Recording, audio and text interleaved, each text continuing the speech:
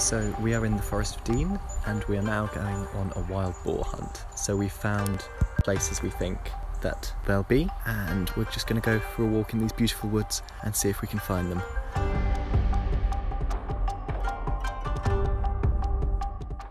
So all of this overturned shrubbery here is all boar handiwork and this is one of the reasons that boars are quite a contentious animal in the UK for reintroduction species. They are ecosystem engineers, so they tear up the ground with their snout looking for food.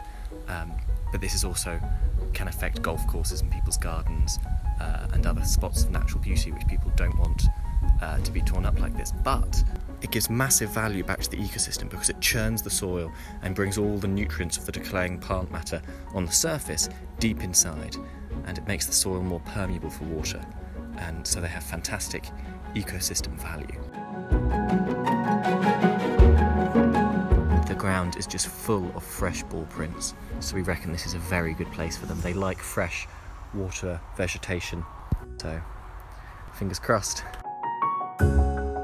What's interesting here is this pool is full of these small water lily type plants and the boars will love this lush vegetation and we can see here this is a slipway they've used to go in.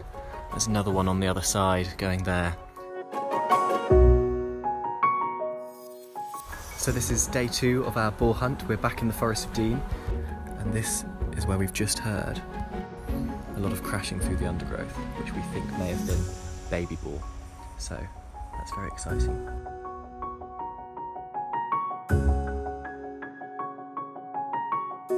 So we're here at this space where we can tell the boars are coming under this big fence because there's lots and lots of very fresh tracks like here and here and they're very deep as well. So we've put the trap up there looking down.